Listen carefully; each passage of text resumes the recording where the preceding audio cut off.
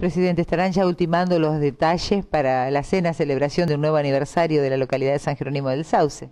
Sí, sin duda, eh, estamos todavía con los, con los últimos detalles que se, de esta cena que se va a realizar el 9 de, el 9 de julio.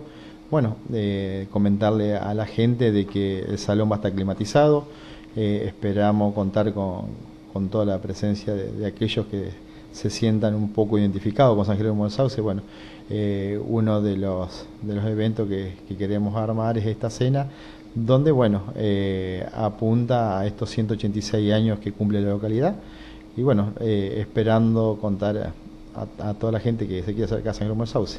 Coincidentemente día sábado, así que más no se puede pedir. No, sin duda, así que bueno, esperar que, que nos siga acompañando el tiempo, eh, más allá que hace frío, pero bueno, te, te, vuelvo a comentar de que eh, el salón va a estar climatizado, así que va a estar muy lindo para acercarse y, y ir a esta cena y tener una noche de, de esparcimiento para también poder bailar ahí en esta cena.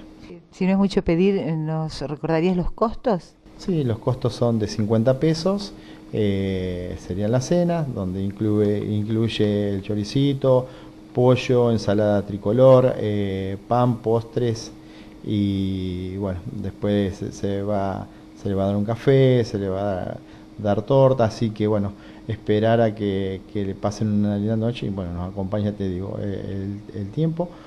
Los menores pagan 25 pesos. Claro. Así que bueno. Que también es importante en este momento, ¿no es cierto? Sí. Y eh, bueno, eh, recalcar de que hay que llevar los cubiertos y ¿Aproximadamente comenzaría a qué hora? 21 horas.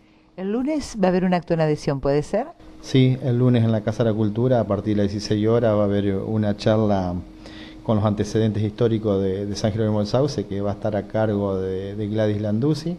Bueno, eh, a todos aquellos que le interese eh, la historia de nuestro pueblo, eh, va a estar a las 16 horas en la Casa de la Cultura esta exposición y charla que, que va a estar a cargo de Gladys. Y bueno, que también es, que es muy interesante, que bueno, que, que se acerquen porque saber de, de la historia nuestra eh, es muy lindo. Y por qué no recordar los que ya saben la historia, hacer un poco de memoria, ¿no? No, sin duda, siempre es bueno refrescar la memoria, así que eh, toda esa invitación para que, que ellos que quieran acercarse el lunes a las 16 horas en la Casa de la Cultura.